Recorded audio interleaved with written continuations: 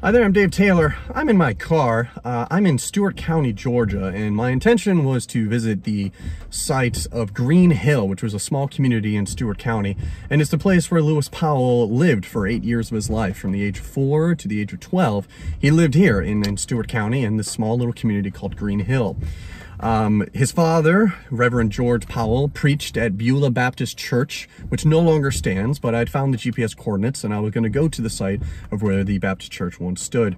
However, as I started off of the main highway, which is in front of me, down this small little county road, it started off as being paved and then turned to gravel. And then um, about a quarter mile down, it turned into just red clay and it has been raining. And I was just worried if I went too far, my little Prius wouldn't be able to make a way, make its way out of it. So I just turned around and am coming back. So I'm unsuccessful in visiting the exact location of Beulah Baptist Church where Reverend Powell preached and right in the almost the middle of what was the Green Hill community. But there's really nothing else there. It is just this kind of red clay dirt roads, county roads around here. So I failed this time, but I got as close as I felt I safely could go without losing my precious car and being trapped in the middle of nowhere in Georgia.